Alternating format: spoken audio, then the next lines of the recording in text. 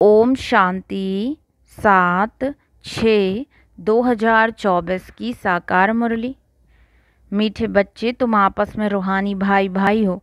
तुम्हारा एक दो से अति प्यार होना चाहिए। तुम प्रेम से भरपूर गंगा बनो। कभी भी लड़ना झगड़ना नहीं। है प्रश्न, रूहानी बाप को कौन से बच्चे बहुत बहुत प्यारे लगते हैं? उत्तर, पहला जो श्रीमत पर सारे विश्व का कल्याण कर रहे हैं। दूसरा, जो फूल बने हैं, कभी भी किसी को कांटा नहीं लगाते। आपस में बहुत बहुत प्यार से रहते हैं, कभी रूसते नहीं। ऐसे बच्चे बाप को बहुत बहुत प्यारे लगते हैं। जो देह अभिमान में आकर आपस में लड़ते हैं, लून पानी होते हैं, वह बाप की इज़्ज़त गंवाते हैं, वह बाप की निंदा कराने वाले निंदक हैं। ओम शांति। जैसे रूहानी बच्चों को अब रूहानी बाप प्यारा लगता है वैसे रूहानी बाप को रूहानी बच्चे भी प्यारे लगते हैं, क्योंकि श्रीमत पर सारे विश्व का कल्याण कर रहे हैं। कल्याणकारी सब प्यारे लगते हैं। तुम भी आपस में भाई भाई हो तो तुम भी ज़रूर एक दो को प्यारे लगेंगे। बाहर वालों से इतना प्यार नहीं रहेगा जितना बाप के बच्चों का आपस में होगा। तुम्हारा भी आपस में बहुत बहुत प्यार होना चाहिए। अगर भाई भाई यहाँ ही लड़ते झगड़ते हैं या प्यार नहीं करते हैं तो वह भाई नहीं ठहरे। तुम्हारा आपस में लव होना चाहिए। बाप का भी आत्माओं से लव है ना? तो आत्माओं का भी आपस में बहुत लव होना चाहिए। सतयुग में सब आत्माएँ एक दो को प्यारी लगती हैं, क्योंकि शरीर का अभिमान टूट जाता है। तुम भाई भाई एक बाप की याद से सारे विश्व का कल्याण करते हो।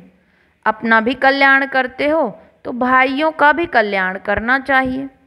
इसलिए बाप देह अभिमानी से देही अभिमानी बना रहे हैं। वो लौकिक भाई भाई तो आपस में धन के लिए, हिस्से के लिए लड़ पड़ते हैं। यहाँ लड़ने झगड़ने की बात नहीं। हर एक को डायरेक्ट कनेक्शन रखना पड़ता है। यह है बेहद की बात। योग बल से बाप से वर्षा लेना है। लौकिक बाप से स्थूल वर्षा लेते हैं। यह तो है रूहानी बाप से रूहानी बच्चों को, रूहानी वर्षा। हर एक को डायरेक्ट बाप से वर्षा लेना है। जितना जितना इंडिविजुअल बाप को याद करेंगे, उतना वर्षा मिलेगा। बाप देखेंगे, आपस में लड़ते हैं तो बाप कहेंगे, तुमने धन के हो क्या? रूहानी भाई भाई को झगड़ना नहीं चाहिए। अगर भाई भाई होकर आपस में लड़ते झगड़ते हैं, प्यार नहीं तो जैसे रावण के बन जाते हैं। वह सब आसुरी संतान ठहरे। फिर दैवी संतान और आसुरी संतान में जैसे कि फ़र्क नहीं रहता, क्योंकि देह अभिमानी बनकर ही लड़ते हैं। आत्मा आत्मा से लड़ती नहीं है, इसलिए बाप कहते हैं मीठे मीठे बच्चे, आपस में लून पानी नहीं होना। होते हैं, तब समझाया जाता है। फिर बाप कहेंगे, यह तो देह अभिमानी बच्चे हैं, रावण के बच्चे हैं, हमारे तो नहीं हैं, क्योंकि आपस में लून पानी होकर रहते हैं। तुम इक्कीस जन्म शीर खंड होकर रहते हो? इस समय देही अभिमानी बन रहना है। अगर आपस में नहीं बनती है तो उस समय के लिए रावण संप्रदाय समझना चाहिए। आपस में लून पानी होने से बाप की इज़्ज़त गवाएँगे। भले ईश्वरीय संतान कहते हैं, परंतु आसुरी गुण है। तो जैसे देह अभिमानी है। देही अभिमानी में ईश्वरीय गुण होते हैं। यहाँ तुम ईश्वरीय गुण धारण करेंगे, तब ही बाप साथ में ले जाएँगे। फिर वही संस्कार साथ में जाएँगे। बाप को मालूम पड़ता है कि बच्चे देह अभिमान में आकर लून पानी हो रहते हैं। वह ईश्वरीय बच्चे कहला ना सकें। कितना अपने को घाटा डालते हैं। माया के वश हो जाते हैं। आपस में लून पानी, नमक पानी, मतभेद हो जाते हैं।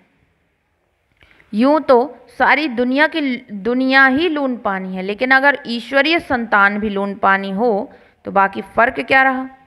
वह तो बाप की निंदा कराते हैं। बाप की निंदा कराने वाले, लून पानी होने वाले ठौर पा ना सकें। उनको नास्तिक कह, नास्तिक भी कह सकते हैं। आस्तिक होने वाले बच्चे कभी लड़ नहीं सकते। तुम्हें आपस में लड़ना नहीं है। प्रेम से रहना, यहाँ ही सीखना है, जो फिर इक्कीस जन्म आपस में प्रेम रहेगा। बाप के बच्चे कहलाकर फिर भाई भाई नहीं बनते तो वह आसुरी संतान ठहरे। बाप बच्चों को समझाने के लिए मुरली चलाते हैं, लेकिन देह अभिमान के कारण उन्हों को यह भी मालूम नहीं पड़ता कि बाबा हमारे लिए कह रहे हैं। माया बड़ी तीखी है, जैसे चूहा काटता है जो मालूम ही नहीं पड़ता है। माया भी बड़ी मीठी मीठी फूंक दे और काट लेती है। पता भी नहीं पड़ता है, आपस में रूसना आदि आसुरी संप्रदाय का काम है। बहुत सेंटर्स में लून पानी होकर रहते हैं अभी कोई परफेक्ट तो बने नहीं हैं। माया वार करती रहती है। माया ऐसा माथा मोड़ लेती है जो पता नहीं पड़ता। अपने दिल से पूछना है कि हमारा आपस में प्रेम है व नहीं। प्रेम के सागर के बच्चे हो तो प्रेम से भरपूर गंगा बनना चाहिए। लड़ना, झगड़ना उल्टा सुल्टा बोलना, इससे ना बोलना अच्छा है। Hear no evil see no evil अगर किसी में क्रोध का अंश है तो वह लव नहीं रहता है। इसलिए बाबा कहते हैं, रोज़ अपना पोता मेल निकालो। आसुरी चलन सुधरती नहीं तो फिर नतीजा क्या निकलता है? क्या पद पाएँगे? बाप समझाते कोई सर्विस नहीं करेंगे तो फिर क्या हालत हो जाएगी? पद कम हो जाएगा। साक्षात्कार तो सबको होना ही है। तुमको भी अपनी पढ़ाई का साक्षात्कार होता है। साक्षात्कार होने के बाद ही फिर तुम ट्रांसफ़र होते हो। ट्रांसफ़र होकर तुम नई दुनिया में आ जाएँगे। पिछाड़ी में सब साक्षात्कार होगा। कौन कौन किस मार्क्स से पास हुआ है? फिर रोएँगे, पीटेंगे, सजाएँ भी खाएँगे, पछताएँगे। बाबा का कहना नहीं माना। बाबा ने तो बार बार समझाया है, कोई आसुरी गुण नहीं होना चाहिए। जिनमें दैवी गुण हैं, उनको ऐसा आप समान बनाना चाहिए। बाप को याद करना तो बहुत सहज है, अल्फ और बे। अल्फ माना बाप बे माना बादशाही। तो बच्चों को नशा रहना चाहिए। अगर आपस में लून पानी होंगे तो फिर ईश्वरीय औलाद कैसे समझेंगे? बाबा समझेंगे, यह आसुरी औलाद है। माया ने इसे नाक से पकड़ लिया है। उनको पता भी नहीं पड़ता है। सारी अवस्था डावा डोल, पद कम हो पड़ता है। तुम बच्चों को उन्हें प्रेम से सिखाने की कोशिश करनी चाहिए। प्रेम की दृष्टि रहनी चाहिए। बाप प्रेम का सागर है तो बच्चों को भी खींचते हैं ना। तो तुमको भी प्रेम का सागर बनना है। बाप बच्चों को बहुत प्यार से समझाते हैं, अच्छी मत देते हैं। ईश्वरीय मत मिलने से तुम फूल बन जाते हो, सब गुण तुमको देते हैं। देवताओं में प्यार है ना तो वह अवस्था तुम्हें यहाँ जमानी है। इस समय तुमको नॉलेज है, फिर देवता बन गए तो नॉलेज नहीं रहेगी। वह दैवी प्यार ही रहता है। तो बच्चों को अब दैवी गुण भी धारण करने हैं। अभी तुम पूज्य बनने लिए पुरुषार्थ कर रहे हो। अभी संगम पर हो। बाप भी भारत में आते हैं, शिव जयंती मनाते हैं। परंतु वह कौन है, कैसे, कब आते, क्या करते, यह नहीं जानते। तुम बच्चे भी अभी नंबरवार पुरुषार्थ अनुसार जानते हो। जो नहीं जानते, वह किसको समझा भी नहीं सकते। फिर पद कम हो जाता है। स्कूल में पढ़ने वालों में कोई की चलन खराब होती है तो कोई की सदैव अच्छी चलन रहती है। कोई प्रेजेंट रहे, कोई एबसेंट यहाँ प्रेजेंट वह है जो सदैव बाप को याद करते हैं। स्वदर्शन चक्र फिराते रहते हैं। बाप कहते हैं, उठते, बैठते, तुम अपने को स्वदर्शन चक्रधारी समझो। भूलते हो तो एबसेंट हो जाते हो। जब सदैव प्रेजेंट होंगे, तभी ऊंच पद पाएँगे। भूल जाएँगे तो कम पद पाएँगे। बाप जानते हैं, अभी टाइम पड़ा है। ऊंच पद पाने वालों की बुद्धि में यह चक्र फिरता होगा। कहा जाता है, शिव बाबा की याद हो, मुख में ज्ञान अमृत हो, तब प्राण तन से निकले। अगर कोई चीज़ से प्रीत होगी तो अंतकाल में वह याद आती रहेगी। खाने का लोभ होगा तो मरने के समय वह चीज़ ही याद आती रहेगी, यह खाऊं।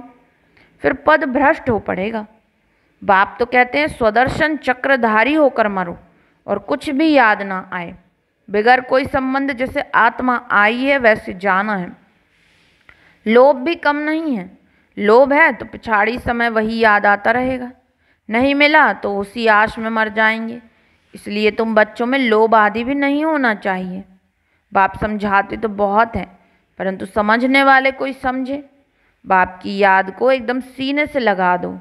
बाबा, ओह बाबा। बाबा बाबा मुख से कहना भी नहीं है। अजपा जाप चलता रहे। बाप की याद में, कर्मातीत अवस्था में यह शरीर छूटे, तब ऊंच पद पा सकते हो। अच्छा मीठे मीठे सिकिलदे बच्चों प्रति मात पिता बाप दादा का याद प्यार और गुड मॉर्निंग। रूहानी बाप की रूहानी बच्चों को नमस्ते। हम रूहानी बच्चों की रूहानी मात पिता बाप दादा को याद प्यार गुड मॉर्निंग। और नमस्ते नमस्ते नमस्ते। धारणा के लिए मुख्य सार। पहला, प्रेम से भरपूर गंगा बनना है। सबके प्रति प्रेम की दृष्टि रखनी है। कभी भी मुख से उल्टे बोल नहीं बोलने हैं। दूसरा, किसी भी चीज़ में लोभ नहीं रखना है। स्वदर्शन चक्रधारी होकर रहना है। अभ्यास करना है कि अंत समय कोई भी चीज़ याद ना आए। वरदान, पुरानी देह व दुनिया की सर्व आकर्षणों से सहज और सदा दूर रहने वाले राज ऋषि भव। पुरानी देह व दुनिया की सर्व आकर्षणों से सहज और सदा दूर रहने वाले राज ऋषि भव।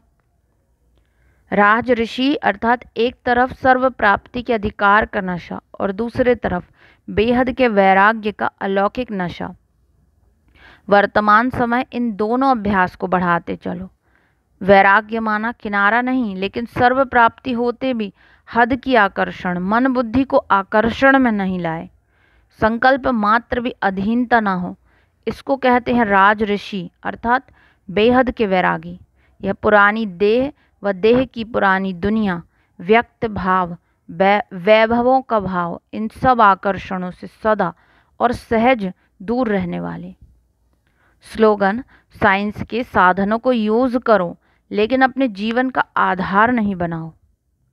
साइंस के साधनों को यूज़ करो, लेकिन अपने जीवन का आधार नहीं बनाओ। मातेश्वरी जी के मधुर महावाक्य। देखो, मनुष्य कहते हैं, कौरवों और पांडवों की आपस में कुरुक्षेत्र में लड़ाई लगी है, और फिर दिखलाते हैं पांडवों का साथी डायरेक्शन देने वाला श्री कृष्ण था। तो जिस तरफ़ स्वयं प्रकृतिपति हैं, उसकी तो विजय ज़रूर होगी। देखो, सभी बातें मिला दी हैं। अभी पहले तो इस बात को समझो कि प्रकृतिपति तो परमात्मा है श्री कृष्ण तो सतयुग का पहला देवता है, पांडवों का सारथी तो परमात्मा था। अब परमात्मा हम बच्चों को कभी हिंसा नहीं सिखला सकता है, न पांडवों ने हिंसक लड़ाई कर स्वराज्य लिया। यह दुनिया कर्म क्षेत्र है, जिसमें मनुष्य जैसा जैसा कर्म कर बीज बोता है, वैसा अच्छा व बुरा फल भोगता है।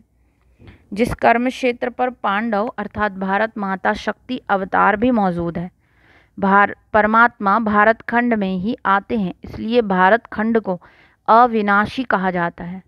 परमात्मा का अवतरण खास भारत खंड में हुआ है, क्योंकि अधर्म की वृद्धि भी भारत खंड से हुई है। वहाँ ही परमात्मा ने योग बल द्वारा कौरव राज्य खत्म कर पांडवों का राज्य स्थापन किया। तो परमात्मा ने एक आदि सनातन धर्म स्थापन किया परंतु भारतवासी अपने महान पवित्र धर्म और श्रेष्ठ कर्म को भूल अपने को हिंदू कहलाते। बेचारे अपने धर्म को ना जान औरों के धर्म में जुट गए। तो यह बेहद का ज्ञान, बेहद का मालिक खुद ही बताता है। यह तो अपने स्वधर्म को भूल हद में फंस गए हैं, जिसको कहा जाता है अति धर्म ग्लानी क्योंकि यह सब प्रकृति के धर्म है। परंतु पहले चाहिए स्वधर्म। तो हर एक का स्वधर्म है कि मैं आत्मा शांत स्वरूप हूँ। फिर अपनी प्रकृति का धर्म है देवता धर्म। यह तैंतीस करोड़ भारतवासी देवताएँ हैं, तभी तो परमात्मा कहते हैं, अनेक देह के धर्मों का त्याग करो, सर्वधर्मानी परित्यज्य। इस हद के धर्मों में इतना आंदोलन हो गया है तो अब इन हद के धर्मों से निकल बेहद में जाना है।